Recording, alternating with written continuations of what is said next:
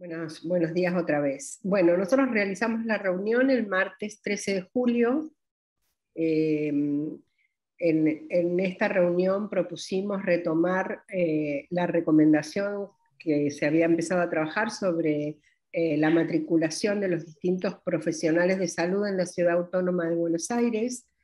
También avanzamos sobre el proyecto de reconocer como profesionales de la ciudad de Buenos Aires, a los enfermeros licenciados en enfermería y a los enfermeros universitarios. Ahí discutimos, estamos viendo si presentamos un proyecto de modificación de una ley existente o una recomendación al Ejecutivo. Eh, retomamos también y pedimos a la unidad de coordinación que mm, eh, trajera a alguien del área de salud mental para poder trabajar sobre el proyecto que había presentado CEP el año pasado. Al respecto, la unidad de coordinación nos presentó un diagrama de flujo exhaustivo de las distintas áreas. Hicieron como un relevamiento de lo existente en ciudad, muy fragmentado, muy disperso, a lo que mm, nosotros contestamos que mm, era importante eh, contactarnos con, alguien específico y que había un área que se llamaba Programa de Salud Mental, Desastres y, mm, Desarrollo, que, que, dirige la licenciada, la licenciada Susana Chámez.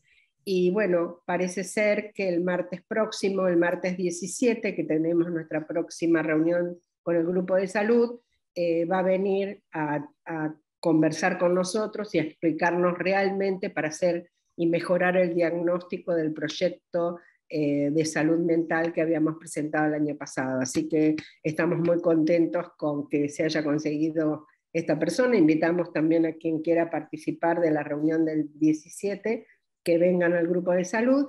Y después, con respecto a la parte de normativa, estamos discutiendo exhaustivamente también dentro del grupo de salud em, e, esto de cuáles son las dimensiones originales y qué, cuál va a ser el devenir de los grupos de salud y de las dimensiones o mesas de trabajo para llevar algo ya armado que estuvimos trabajando en las, las últimas dos semanas a la reunión de normativa. Y después, con respecto a la, a, la reunión de enlace con la legislatura, Marta Ayer y este, María Teresa Paliano estuvieron con el grupo de la legislatura de salud eh, exponiendo y defendiendo los proyectos que tenemos, el de fibromialgia y el de asolea, este, y bueno, eh, quedaron en que iban a ver qué se podía hacer en este año de pandemia, donde lo coyuntural está